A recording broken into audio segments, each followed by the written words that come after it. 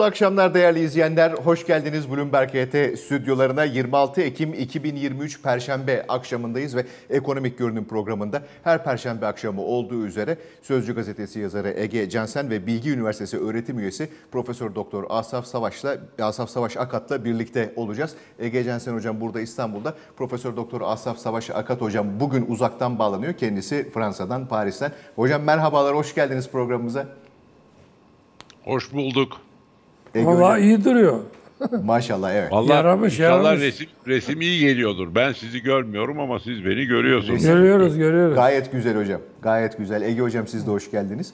Ee, bu akşam yine derin bir konu ya da aynı zamanda konuyu da derinlemesine e, inceleyeceğiz, değerlendireceğiz, ele alacağız. Bu akşamki konumuz ekonomide devletçilik. Hem işin teori kısmını hem işin hayata geçtikten sonra bugüne kadarki uygulamalarında pratiğe yansımasını konuşacağız, değerlendireceğiz ve Türkiye'de nasıl başladı, e, arada nasıl ilerledi ve bugünlere nasıl geldi, nasıl hayatımızda yeri var hepsini konuşacağız, değerlendireceğiz. Ege hocam buyurunuz isterseniz başlayalım. Hepsini konuşamayacağız tabii. Elbette. Şöyle üzerinden sıçraya sıçraya Buyurun. gideceğiz. Şimdi de var devletçilik e, bir başka adıyla karma ekonomidir. E, onu da başlangıçta söyleyeyim de yani ne total merkezi planlama sistemi ne pür kapitalist sistem devletçilik işte bu açıdan bir yerde karma ekonomidir.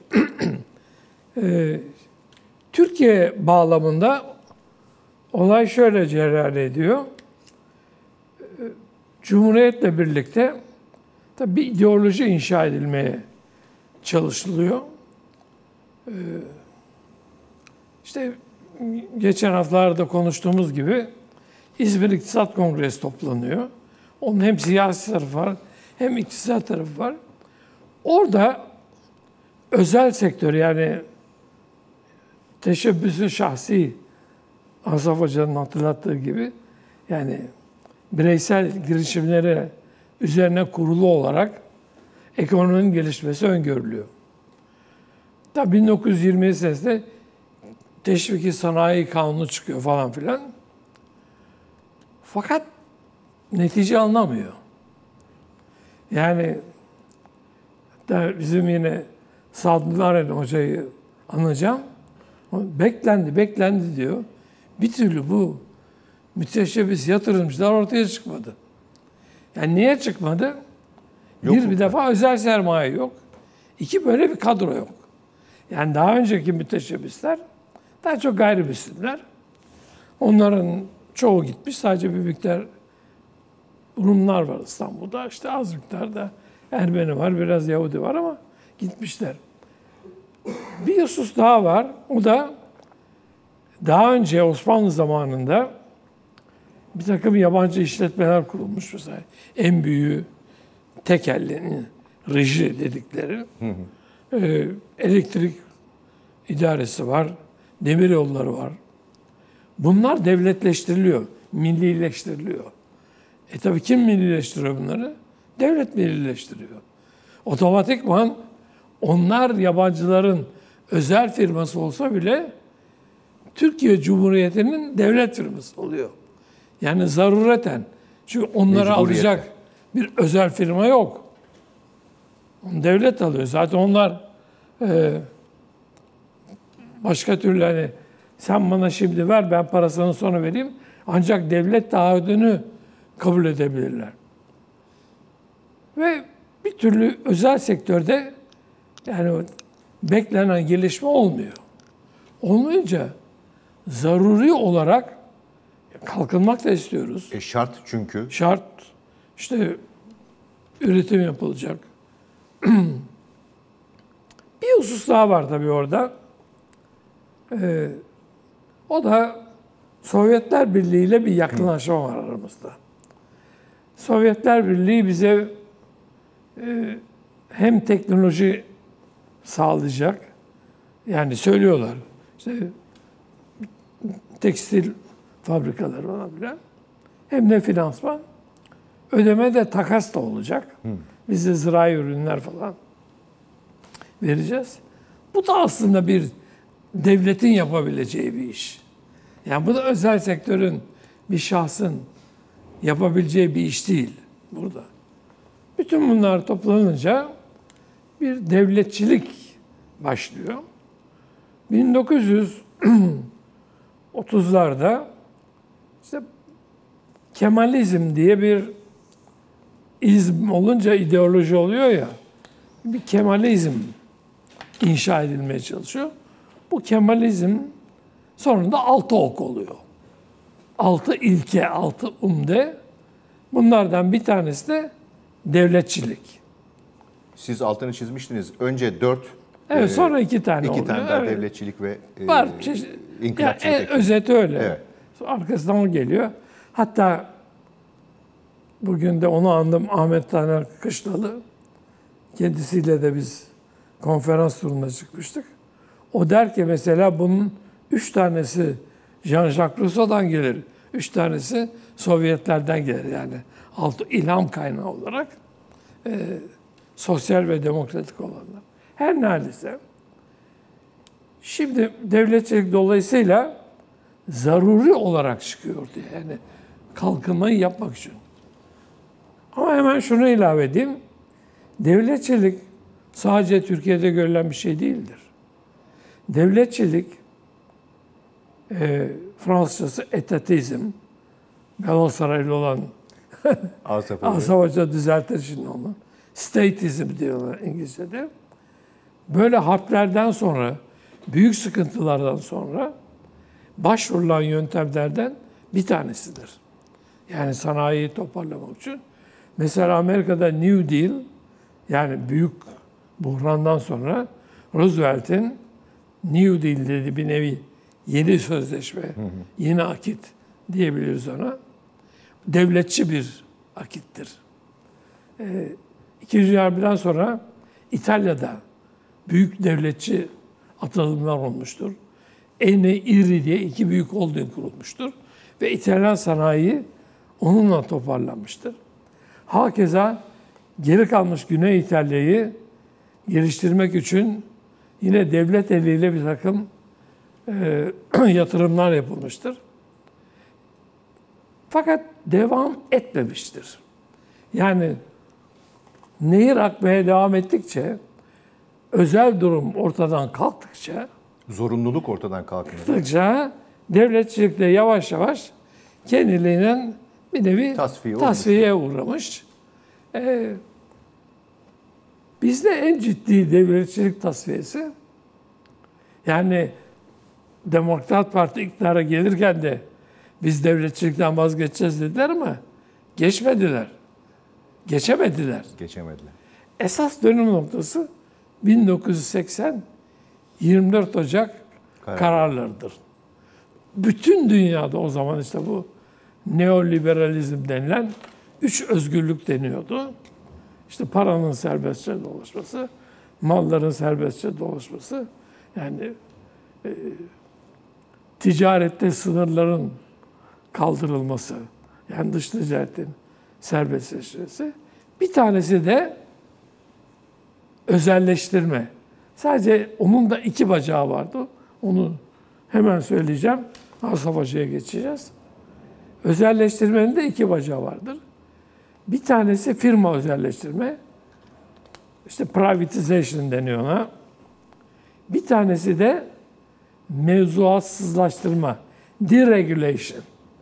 Yani devlet müdahalesi aslında iki türlü oluyor. Devlet malik müteşebbis oluyor. Yani bizzat firma kuruyor işletiyor. Veya denetleyici, düzenleyici oluyor. Yani demek ki devletleştirmenin de iki boyutu var. Özelleştirmede de yine iki boyut var. Devlet kendi işletmelerini satıyor. Bir de daha önce koyduğu regülasyonları kaldırıyor. Sadece onun yerine sözde böyle özel sektörden de temsilciler alarak kurullar kuruluyor. Düzenleyici kurullar, denetleme düzen. Hani bizde de var ya bu telekomünikasyon, yok bilmem ne gibi. Yani sözde orada tam devlet yok, devletle özel sektör beraber regüle ediyorlar. Demek ki hala bir regüle etme ihtiyacı var. Yani tamamen de sanmıyorlar. Sebebi de teknolojik veya doğal tekeller olması. Bunu bilahare açacağım ne olduğunu. Peki. E, tamamladıysanız Tabii. Asaf Hoca'ya geçelim. Profesör Doktor Asaf Savaş Akat. Hocam Ege hocam e, anlattı. E, özellikle Türkiye Cumhuriyeti'nden yola kuruluşundan yola çıktık ki bir zorunluluk var ortada. İnsan kaynağı yok, sermaye yok. E, buna mukabil e, sömürge tipi bir ekonomiden çıkılmış. E, yeni cumhuriyet e, a, hızlı bir şekilde kalkınmaya, birçok e, yatırımı yapmaya ihtiyaç duyuyor. Bu ortamda bunun yapılması zaten olmadığı için son derece normal yokluklardan dolayı. E, Ege Hoca da e, 1980 olarak tarifledi. 1923-30 arası dönemde, 30-31 arası dönemde yaşananları e, 1980'e kadar getirdi. Hocam sizin düşünceleriniz nelerdir konuyla alakalı olarak buyurunuz. Evet. Ee, yani orada olmayı tercih ederdim doğru, doğrusu. Buradan Elbette. ne de olsa Ege'nin sözünü kesemiyorum. Zor oluyor ee, şeyden. Evet e, tabii e, yani bizim için devletçilik deyince kafamızda kendiliğinden bir şey oluşuyor. Ama bu bu tip kavramlar işte Ege'nin anlattığı hikayede zaten çıktı ortaya bir sürü şey var. Yani bir şey değil, bir şeyden ibaret değil. Birincisi e, e, Türkiye'nin de başına gelen olay var. Böyle bir örnek var. E, sanayiniz yok. Yani sanayileşmemiş bir ülke. Sanayileşmek istiyorsunuz bir şekilde. E, özel teşebbüs yapsın diyorsunuz. Özel teşebbüsün olmadığı ortaya çıkıyor. E, yapmıyor. 1920'lerde teşvikler veriliyor, bilmem neler yapılıyor falan. Yani o o ekosistem yok. Yani bir e, e, büyük sanayi yatırımlarını yapacak müteşebbis, yetişmiş insan, işte finans sektörü, değil mi? Mühendislik mekteplerinden çıkmış mühendisler falan değil mi? Yani bir, bir Doğru. sürü insan lazım.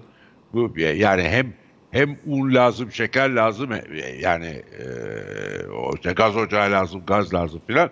Hem de ahçı lazım, yamağı lazım. Yani şey, şey bunların müteşebbih. Bunların biri olmadı. Çıkıyor olmadı ortaya çıkınca e, görününce Çare başa e, düşüyor. o- başka bir şey aranıyor. Ama tabii şey diye düşünmemek lazım yani bu tarihte böyle şey de olmuyor yani e, hani bir sabah oturup şey gelmiyor. O sırada Sovyetler Birliği'nde çok ciddi bir şey var.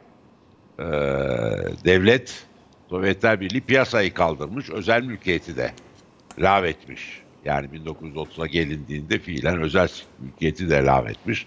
Ee, tarımı devletleştirmiş bir şekilde özel mülkiyeti tarımda da kaldırmış. Türkiye halbuki bir tarım tarımda özel mülkiyet var. Bir iki tane devlet çiftliği var ama yani onlar şey değil esas itibariyle üretim çiftçiler tarafından yapılıyor. Büyük bir bölümü de zaten şey e, geçimlik üretim ürettiklerini yiyorlar.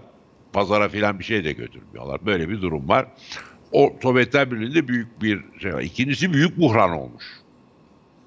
Yani büyük buhran olmuş. Dün gene derste yani bilinmeyen bir şeydir. Türkiye'de fiyatlar fiyatlar 31, 32, 33, 34, 4 yıl üst üste düşer. Bunu sık sık anlatırım. Ee, şeyini rastlamadım ama annem babamdan evden bildiğim bir şeydir. Ege de bunu ailesinde duymuş olabilir. Memur maaşlarında indirime gidilir. Niye? Çünkü fiyatlar düşmüş. Deflasyon var. Ve nasıl deflasyon var? Sert, ağır bir deflasyon var. Yani 4 yılda fiyatlar galiba yarı yarıya falan düşer. Böyle yıllık %10 falan düşer, 15 düşer. Yani çok ciddi bir enflasyon var. Bu koşullarda e, ülkenin de bazı şeylere ihtiyacı var. Mesela şimdi inşaat için inşaat demirine ihtiyaç var. Doğru düz inşaat yapmak için. İnşaatın askeri boyut da var. Sığınaklar yapılacak, başka şeyler de yapılacak. Yani öyle şeyler. Ee, e, şeye ihtiyacı var. Ordunun ayakkabıya ihtiyacı var. Ordunun işte şeye ihtiyacı var. Kumaşa ihtiyacı var. Ee, böyle bir takım ihtiyaçlar var ortada. Dolayısıyla o zaman işte devletçilik diye yani devlet kuruyor. O bizim devletin şey kurması şeklini alan fi, fiilen sanayi şirketlerini. Mesela İtalya'da aynı şey oluyor. Orada başka bir şey. Orada büyük buhran geliyor. aynen yeni e, yeni anlaşma gibi, New Deal gibi büyük buran gelince İtalyan şirketleri patır patır batmaya başlıyor. Mussolini iktidarda. Mussolini onları bir araya topluyor. Bu eni eni bilinir de esas onun ağababası babası iridir. Ee, yani sanayinin yeniden inşası amacıyla rekonstrüksiyon şey bir şeydir. Fransa'nın zaten çok köklü bir geleneği var. Ona dirijist deniyor. Yani bir e, o ikinci kısmı devletçiliğin, devletçiliğin bir bölümünde mülkiyetin yani sanayi işletmesinin mülkiyetinin devlette olması var. E, biz bunu sıfırdan biz kuruyoruz. Başka yerlerde bunlar devletleştirmeyle oluyor. Nasyonalizasyon dediğimiz devletleştirme yani özel şahısların olan şeyi ya krizden dolayı ya solcular iktidara geldiği için önemli değil. Başka şeyler olabilir. Mesela İkinci Dünya Savaşı sonrasında e, Fransa'da Almanlarla işbirliği yapmış büyük şirketlerin patronları varsa onlar devletleştirilmişti yani. Orada da başka bir şey işliyor. Bir sürü böyle örnek var. Renault onlardan biridir e, şeyler. Demek ki bir boyutu bu. Ama Fransa'da esas devlet mülkiyetinden çok Fransa'da var olan dirijizm dedikleri devlet e, kendi sahibi olmasa da ekonomiyi yönetiyor, müdahale ediyor. Bu sonradan sanayi politikası adını alan industrial policy denen şeye dönüştü. Ama Fransa'da çok eski bir gelenek. Daha yani 18. 19. yüzyıla kesin 19. yüzyıla giden bir gelenek e, Fransa'da. Demek ki böyle bir boyutta var. Demek ki bir mülkiyet yani devletçilik dediğimiz zaman bir mülkiyeti anlıyoruz. Devlet piyasada alınıp satılan malların üreten tesislerin sahibi oluyor. Ya kendi kuruyor Türkiye'de oluyor ya var olanları alıyor filan. İkincisi, ikincisi diricinin dediğimiz olay şey yapmasa bile, sahip olmasa bile bu kararları piyasaya bırakmıyor. Falan sektöre yatırım yapılacak diyor. Buluyor, bulduruyor. Özel de olsa firma sanayi politikası dediğimiz bir şekilde teşvik getiriyor, onu getiriyor, bunu getiriyor. Dolayısıyla e, e, şey yapıyor, yönetiyor. Dirije tam yönetmek demek. Devlet ekonomiyi yönetiyor. Ne hangi hangi alanlara yatırım yapılacak, hangi alanlara yatırım yapılmayacak, ne olacak, ne bitecek. Piyasa dışında bunlara devlet tarafından karar veriliyor. Üç, bir de tabii var olan piyasalarda ikisini de yapmayabilir ama piyasaların düzenlemesi söz konusu olabilir. Bu daha çok rekabet sorunları olan piyasalarda oluyor. Ya da tüketicinin korumasının önemli olduğu piyasalarda oluyor. Mesela işte e, tipik örneği bunun hava yolları, e, demir yolları, elektrik, su vesaire bunlar doğal tekerler, de, şey, telekom. Nitekim baktığımız zaman Avrupa'da genellikle bunlar hemen de, devletleştirilmiş. Yani hızla devletleştirilmiş. Amerika'da devletleştirilmiyor ama ne yapılıyor onun yerine? Bu düzenleme bir şekilde e, bu tekerlerin e, istedikleri gibi davranmasına izin vermiyor. Fiyatlarına karıştırıyor, yatırımlarına karıştırıyor, ücret politikalarına bir sürü şeyle devlet doğrudan e, şey yaparak müdahale ediyor.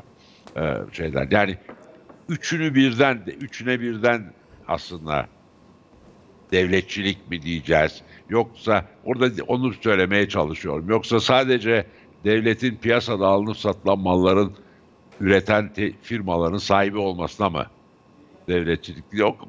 Çok da şey değil. Çok da şey çünkü Türkiye'de de üçü de var. Ee, nitekim ilk kurulduğunda bunların bir bölümü tamamen yani devlet devletleştirmelerin bölümünde varidat amaçlı mesela inisarlar var. Adı üzerine inisar. İnisar Türk şeyin e, tekel demek. İnisarını almak. Yani devlet o işi kendi inisarına almış. Bunlar ne tip işler oluyor diye baktığınız zaman bunlar vatandaşın almak zorunda olduğu bir takım e, şeyler. Mesela kibrit inisarı var. Ege hatırlar. Gençler için bunu tahvil etmek zor ama tekel. E niye? Çünkü yani herkes kibrit almak zorunda. Onun için fiyatını yüksek tutuyor. Tekelde. Kendi tek elinde tutuyor devlet.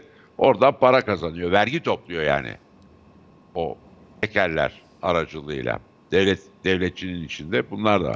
Bu süreç bir komuta ekonomisine de götürüyor. Yani benim sevdiğim kelime orada e, daha çok sevdiğim kelime e, komuta ekonomisidir.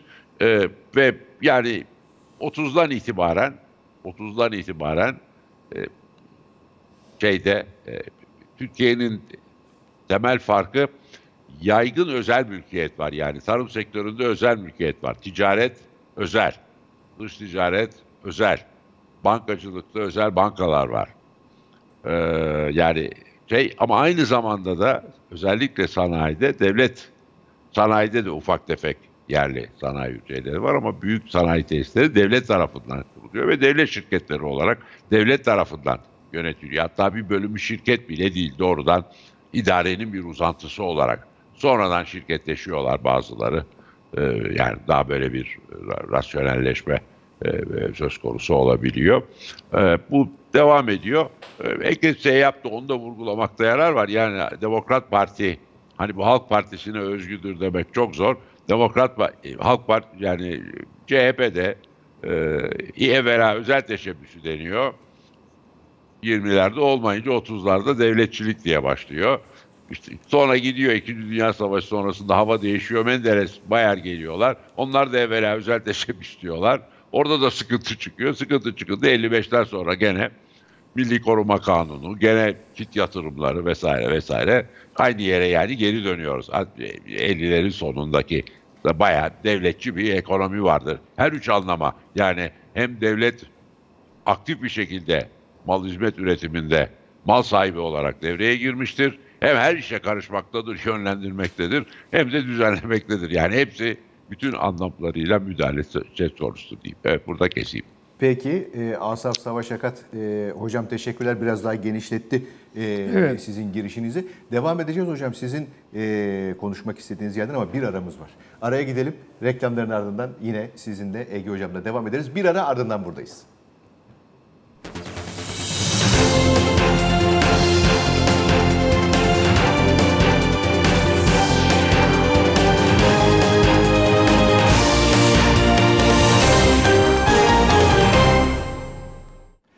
Ekonomik görünüm devam ediyor. Ege Cansen stüdyoda hocam bizimle birlikte. Profesör Doktor Asaf Savaş Akat da uzaktan bağlanıyor bu akşam. Ee, ekonomide devletçilik kavramını, anlayışını konuşuyoruz.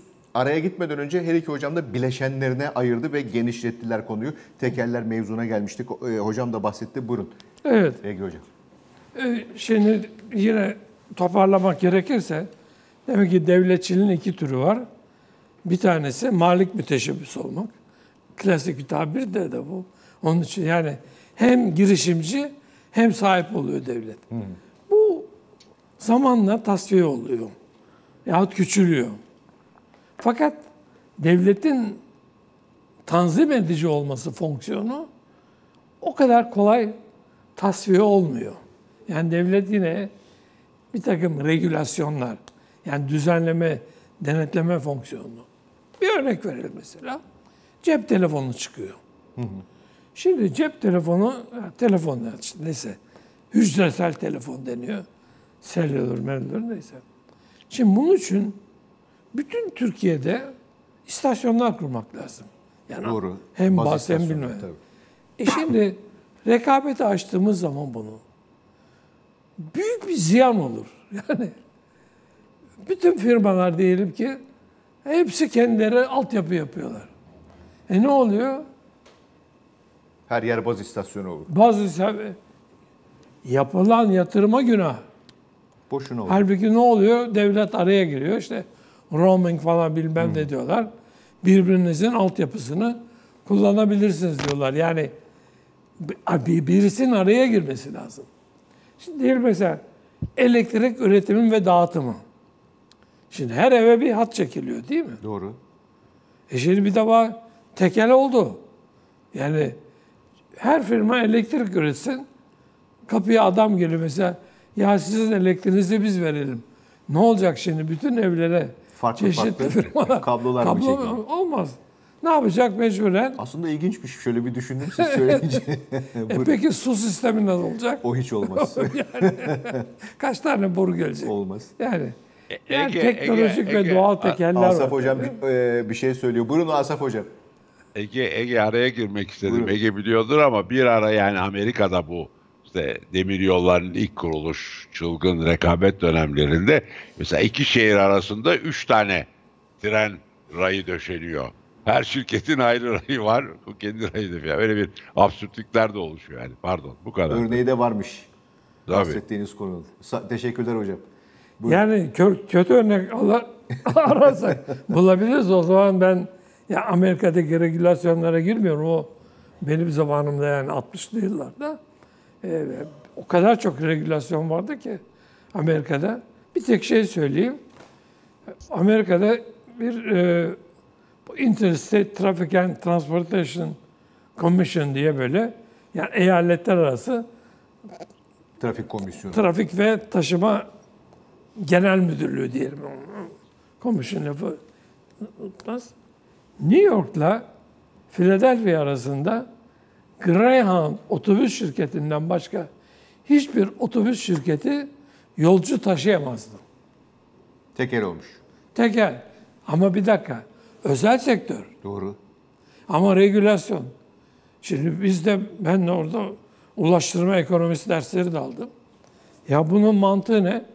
Ya o diyor ki şimdi bir de şart koşmuşlar Greyhound firmasına. Diyorlar ki bir de var, her saat başı bir otobüs kaldıracaksın. Otobüs doldu. Üç müşteri daha geldi. Bir otobüs daha kaldıracaksın.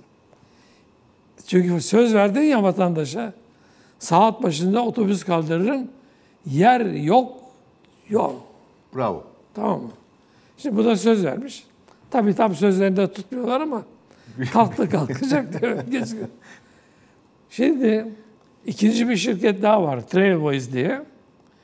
Bu Pittsburgh'a bilet kesiyor New York'tan. Şimdi ben New York'a gittim. Philadelphia'ya döneceğim. O otobüs kalkmış. Yani saat başını geçtin mi öbür saat beklemeye mecbursun. O sırada da Pittsburgh'a kalkacak otobüs var. O da Philadelphia'ya uğruyor. Yolcu indiriyor ama Philadelphia'ya bilet kesemiyor. Adam dedi ki Pittsburgh'a bilet al, O arada in. arada in. Yani regülasyon deyince bunlar kalmadı şimdi onu söyleyeyim.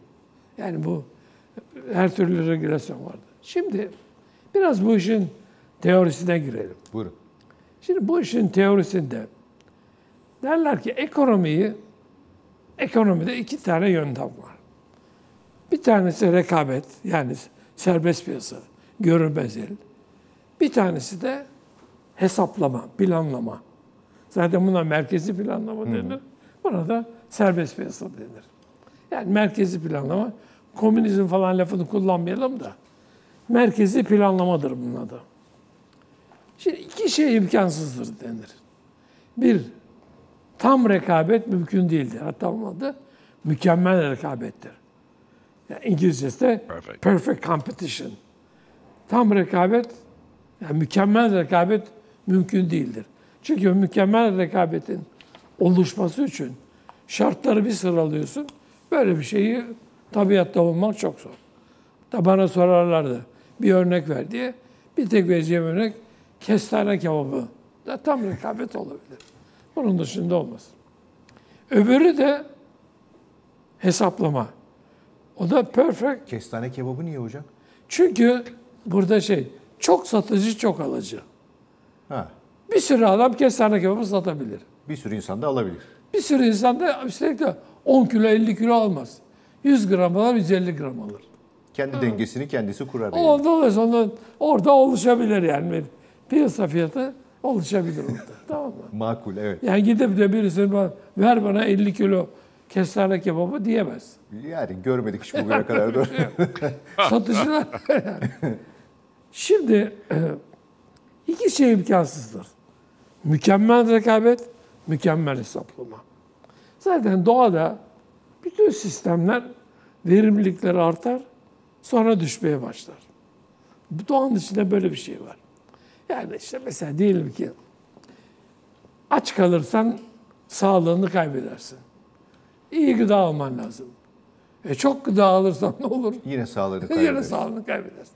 Yani tabiat dışında böyle bir parabolik ilişki dedikleri bir şey vardır. Şimdi o zaman diyor ki ya o zaman onun inişe geçtiği yerde diğerini devreye sokalım.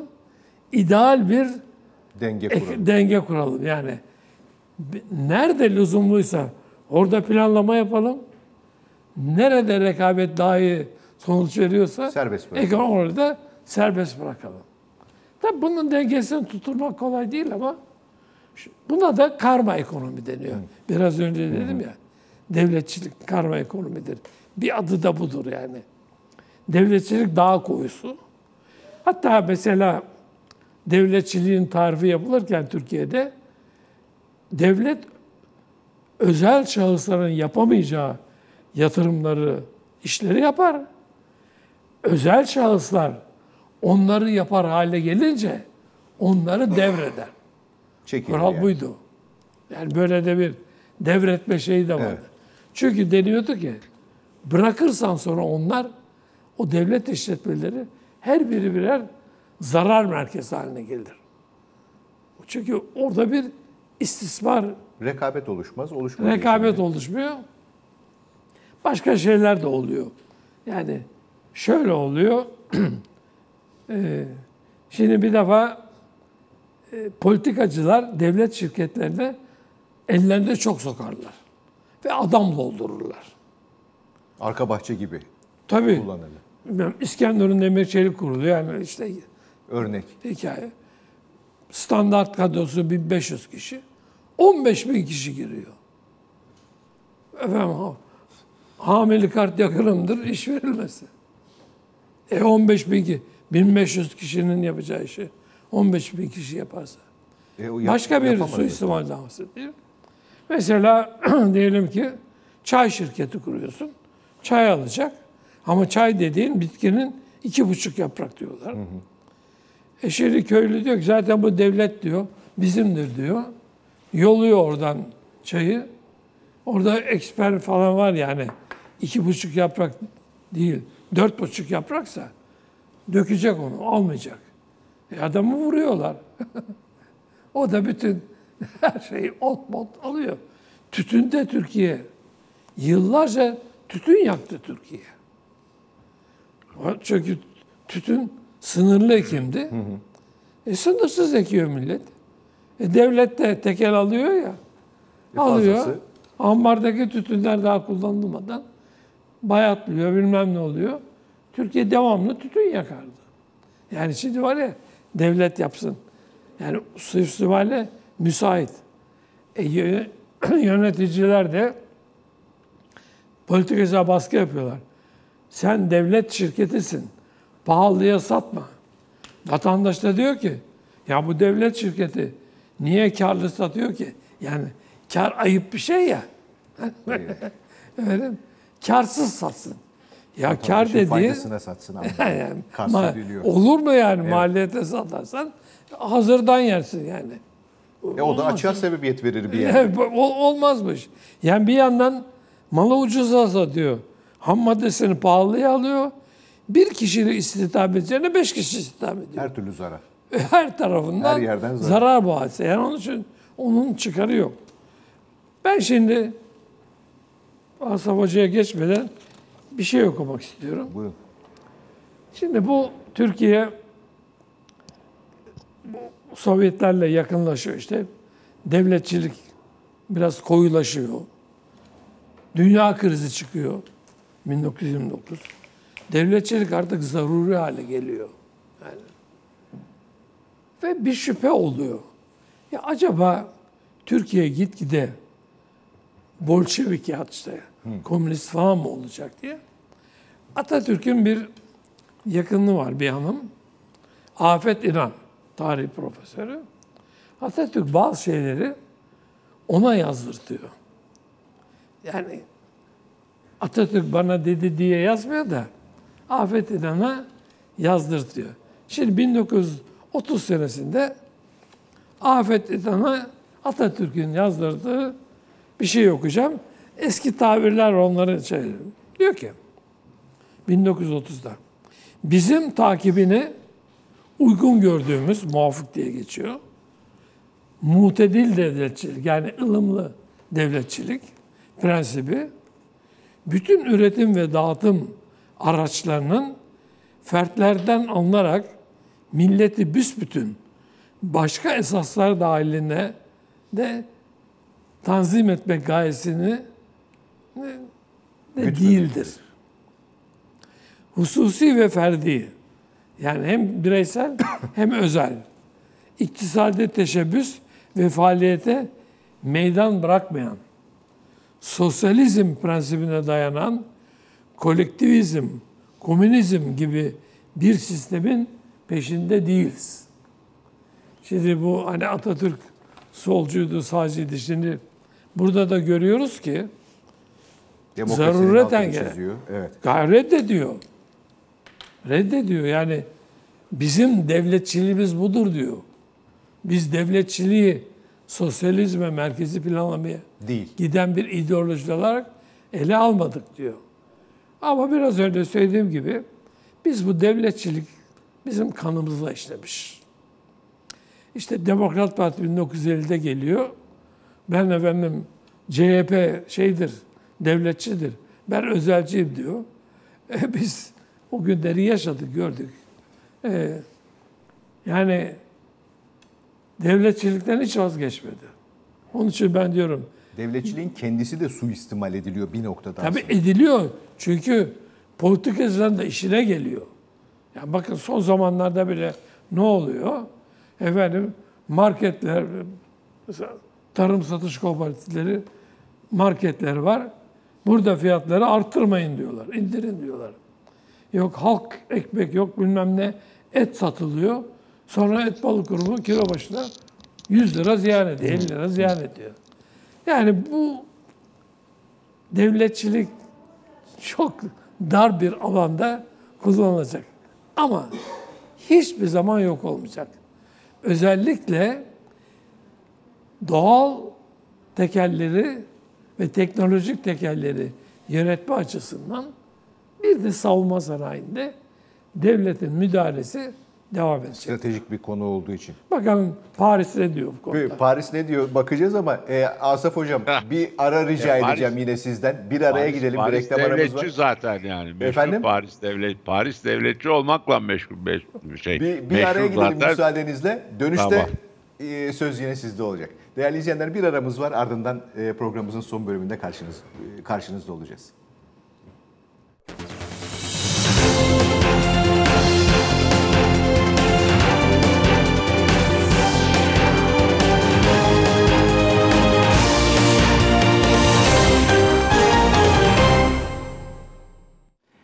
Devam ediyoruz programımıza ve hemen Fransa'ya, Paris'e uzanıyoruz. Çünkü Profesör Doktor Asaf Savaş Akat bu akşam bize Paris'ten e, katılıyor. Hocam e, programın son 4 dakikası. Ege Hocam e, anlattı ve dedi ki e, araya gitmeden önce e, bazı sektörler var ki stratejik olmalarından dolayı ve hükümetin bazı, devletin bazı alanlar var ki düzenleme mecburiyeti olmasından dolayı bitmeyecek. Peki e, bu noktadan siz bize bugünü Türkiye'yi ve dünyayı acaba bugünü nasıl değerlendirirsiniz? Hocam 4 dakika. 4 dakikada bunu yap, yapabilsem Mümkünse ben yani, yani yani şimdi buna de, devam edelim diyeceğim. Ee, çünkü yani çok laf e, birikti ee, şeyde. Şimdi bir, bir, bir, bir birkaç gözlem yapmak istiyorum. Biraz aykırı gözlem olacak ama aslında devletçiliği sadece ve sadece bu devlet işletmeciliği e, o şeklinde tanımlamazsanız yani benim burada yaptığımız geniş bir tanımı yapınca aslında Türkiye'de devletçiliği gerçek anlama devletçiliği tesis eden Menderes hükümetleridir. 55 sonrasıdır. Yani e, 50'lerde devlet işletmeciliği ve tekerler vardır ama mesela ithalat üzerinde de çok kısıtlamalar yoktur. Esas bu kur baskı altında e, döviz izni, ithalat yasağı kim yani bize komuta ekonomisinin esas müellifi yani e, Menderes rejimidir. Bir kere yani onu iyi görmek lazım. Biraz tersi bilinir. Yani sanki e, 30'lar devletçiydi e, 50'lerin ikinci yarısında devletçi değildi filan. Yani tam komuta ekonomisini bu anlama kuran e, kurduğu şeydi, dönemdi. İkincisi bu e, devletin mal sahibi olması yani e, özellikle de fiilen işletim e, şeyde e, yönetimde etkili olması e, örneğin 20. yüzyılın başında pek çok insan tarafından çok arzulanan bir şeydi. İyi bir şey olduğu düşünülüyordu. 20. yüzyıl ortalarına kadar yani belki belki sonlarına kadar da düşünülen ama genelde ancak yani bu 20. yüzyılın sonlarına yaklaşılırken sadece Sovyetler Birliği'nin çözülmesi değil bu yani. Genelde insanlar devletin işte temin Ege'nin verdiği İskenderun örneği ki onda 60'lardadır yani. Türk devletçiliği 60 İskenderun'un şeyi Demirel dönemidir yapılması. Ee, yani böyle 60'lara 70'lere böyle yansımıştır, gel, gelmiştir. O düştü. Yani şu anda bakın e, dünyaya baktığınızda hani efendim biz e, internet şirketi ne, ne, ne deniyor? Akıllı işte yapay zeka. Bunu devletleştirelim diye falan kimse yok. Yani devletleştirme, devlet eli, devlet teşebbüsü olayı büyük ölçüde bitti. Esas gelinen nokta diğerleri. Peki. Yani sanayi politikası kısmı, sanayi politikası kısmı ve düzenleme kısmı. Onları dolayısıyla konuşmamız lazım diye düşünüyorum. Ama maalesef tabii zamanımız yok. Ee, devam edersek iyi olur diyelim. Ee, Hocam affedin böylece. burada e, süreyi bitirdik. E, almak zorundayım ama e, eğer uygun olursa önümüzdeki hafta kaldığınız yerden burada stüdyoda devam ederiz. Memnuniyetle. isterseniz. Çok teşekkürler hocam. Profesör Doktor Asaf Savaş Akat. Sevgilerimizi, selamlarımızı yolluyoruz. Ege Censen hocam çok teşekkürler. İyi Ağzınıza akşamlar. sağlık. İyi akşamlar hocam. Ekonomik görünümü burada noktalıyoruz. Bir ara vereceğiz. Saat başında e, küresel piyasalarla tekrar karşınızda olacağız.